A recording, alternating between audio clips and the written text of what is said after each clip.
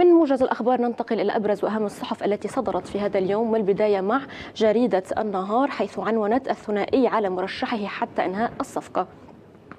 من المرجح أن يبقى الكلام المعمم سياسيا وإعلاميا أن الثنائي الشيعي لن يتنازل عن دعم ترشيح رئيس تيار المردة سليمان فرنجي حتى إنهاء الصفقة التي يتم التفاوض عليها وراء الكواليس ووضع اللمسات الأخيرة عليها أيا تكن المدة.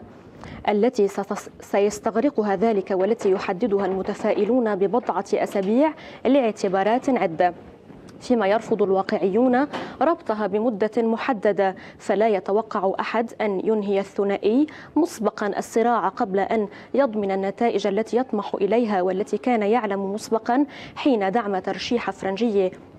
وعرضته القوى وعرضت وعرضته القوى المسيحية بأنه سيصل إليها في نهاية الأمر وسيبقي التعطيل تعطيل قائما حتى يحين الوقت الإقليمي المناسب لإيران والمحلي المناسب له بحيث تكتمل عناصر الصفقة التي يستبعد أن تكون مقتصرة على موقع الرئاسة الأولى.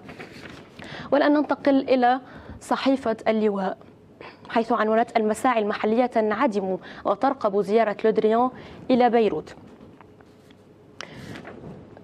تقول مصادر سياسية مطلعة للواء أن كل أسبوع يمر من دون تحقيق أي تقدم ملموس في الملف الرئاسي يجعل من مدة الشهور أطول ويمكن القول أن هذا الملف حتى الآن لم يتم تربيته ليحل ضمن أولويات البحث بفعل أكثر من عامل وأن اللقاءات الخارجية التي تعقد تر تعقد تركز على عدم تفويت الفرصة لإتمام هذا الاستحقاق مشيرة إلى أن التقاطع الفرنسي القطري على الخيار الثالث يجعل يجعل من المسعيين أقرب إلى التنسيق حتى وإن كانت المقاربه مختلفة. وقد يتظاهر ذلك عندما يحضر الموفد الفرنسي إلى بيروت لمعرفة ما إذا كان طرح الخيار الثالث يشق طريقه. أما عدم حضوره مرة أخرى فيعني أن لا شيء جديدا مرتقبا وإنما محادثات لودريان كفيلة بأن تعطي الانطباع بما قد تؤول إليه الأوضاع على الجبهة الرئاسية. والسؤال بشأن انكفاء الدور الفرنسي يجيب عنه لودريان نفسه. وننتقل الآن إلى صحيفة نداء الوطن حيث عنونت الخماسية من الوساطة إلى تحديد المسؤوليات. توقفت أوساط دبلوماسية أمس عند اللقاء في الرياض بين وزير الخارجية السعودي فيصل بن فرحان والموفد الرئاسي الفرنسي جون إيف لودريان في حضور المستشار نزار العلولة والسفير وليد البخاري.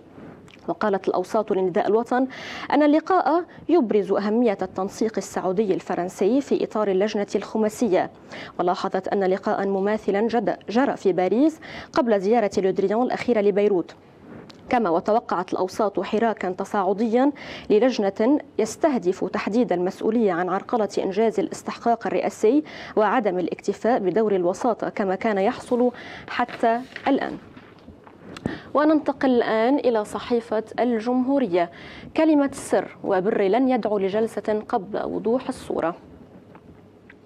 ناطرين هي كلمة السر التي تتناقلها كل القوى السياسية وتجمع وتجمع عليها في أجوبتها حول مصير الملف الرئاسي حيث قالت مصادر سياسية مطلعة للجمهورية أن الانتظار هو سيد الموقف وأن مرحلة ما بعد نعي المبادرة الحوارية الرئاسية لرئيس مجلس النواب نبيه بري هي كما قبلها. وتابعت المصادر ليتحمل كل فريق مسؤولية أفعاله ويأخذ الطريق الذي يحب. لبنان دولة تسير والرب راعيها من دون قيادة. والجديد الآن أننا ننتظر القطري بعدما انتظرنا الفرنسي وقبلها الأمريكي والسعودي والإيراني وصولا إلى البلجيكي مقولة ناطرين بلجيكا. وتضيف المصادر اعتدنا الانتظار ولم يتغير علينا شيء. والرئيس بري لن يدعو إلى جلسة لانتخاب رئيس قبل وضوح الصورة وتبلور المشهد الرئاسي في أعقاب المسعى القطاري.